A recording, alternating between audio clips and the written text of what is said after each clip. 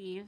Um, I think uh, your book is good, uh, except it's a little one sided. I feel like men should think like women. I mean, we do all the work, we take care of you. Why should we have to think like you all the time? We do all the work in the relationships. See, right there. Why doesn't a man think like a lady? First of all, would you really want a guy who thought like you?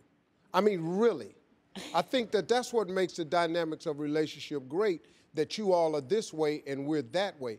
If we thought like you, imagine the confusion. I'm just, let's look at my wife. You know how many times my wife changed her mind today? Suppose I changed my mind as much as my wife did. Our, our home would be a complete mess. I don't, I don't think that's really practical. So, So when you say act, act like a lady, but, but think like a man, what, what do you mean? I'm saying, look, do all the things your mom has told you to do and like a lady. We love that. We love the feminine things and be a lady. I can't tell you how to do that. I'm a man.